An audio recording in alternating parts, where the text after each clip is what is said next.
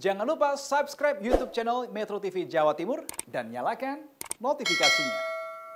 Beredar video viral seorang camat di Kabupaten Sumeneb menyuruh mencuri sapi warga yang tidak mau divaksin COVID-19. Bahkan camat tersebut berani mencatut nama Bupati Kabupaten Sumeneb untuk memanggil kepala desa yang menolak vaksin. Kan tindakan seperti yang ada dalam video tersebut. Bahkan ia sudah memerintahkan pihak BKPSDM dan inspektorat untuk memeriksa dan menyelidiki video viral camat Batang-Batang ini.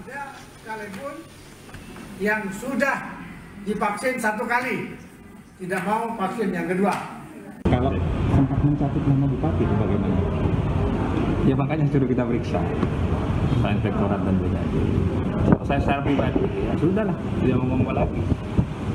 Mau ya enggak lah. Pokoknya proses yang penting saya tidak bicara seperti itu dan tidak Ada kepala desa yang belum